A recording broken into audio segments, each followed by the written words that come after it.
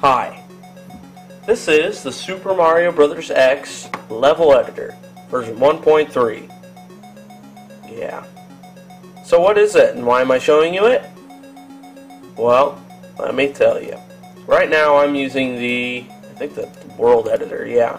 So what the world editor is, it edits the overworld map, so you can, uh, you know, place levels on it, such as the ones from Super Mario World, or stuff from Super Mario Bros. 3, like a Toad House, or a castle, or the Spade House, or the card.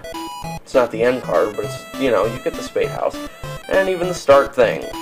Of course, you have to edit, like, oh, how do things exit, how do things work.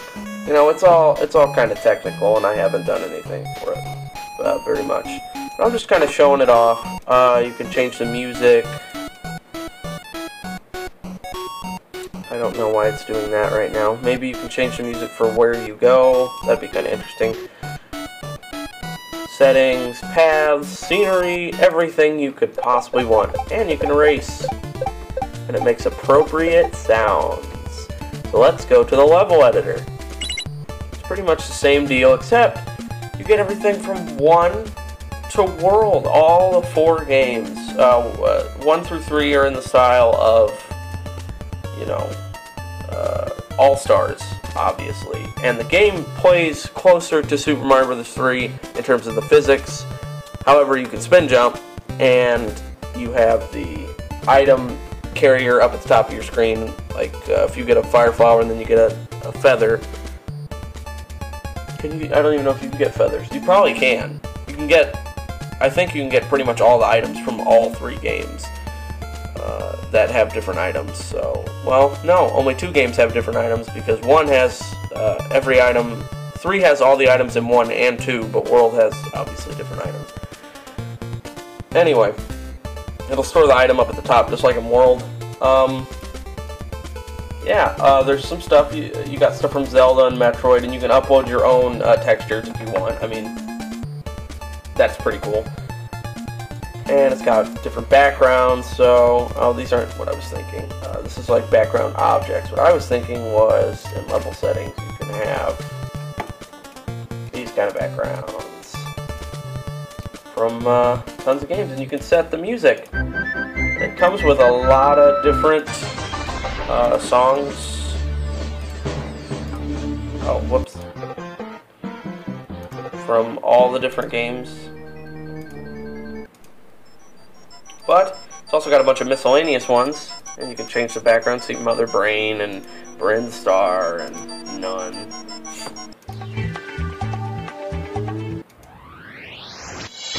You know, tons of great stuff here. It's two players, which is pretty cool. Two players simultaneously. So it kind of, if you've ever played, uh, uh, what, oh, what's it called? Toe and Earl. It's got a very similar style to where if you're on the screen at the same time, it's just one big screen, but if you guys move too far away from each other, it splits into two screens and you guys see your own individual screen, which I thought was really cool. Um, yeah, I'm just gonna let uh, that keep playing.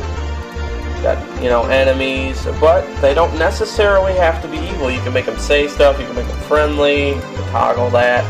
And uh, there are some interesting things, you know. Obviously, you've got doors and whatnot, but you can play as Mario, Luigi, Peach, Toad, I think. I think Toad. And uh, even Link.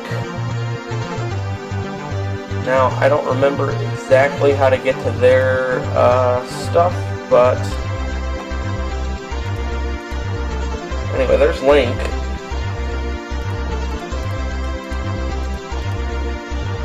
But you can see, uh, it's pretty cool.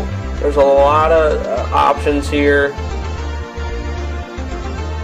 Got battle games. I don't know what that is. Uh, but anyway, that's that's Super Mario Brothers X level level editor. Um, why am I showing you this? Well, um, because it's pretty cool, and because a friend of mine made a game for the editor. There is a game that comes with it called Super Mario Bros. X. but I'm not going to be looking at that because my friend said, hey, you know, I made this with the editor, would you, would you play it, would you do a recording, and I said, uh, sure. So, we'll get to that here in the next video. So, uh, thanks for watching, uh, really appreciate it, um, and we'll see you next time.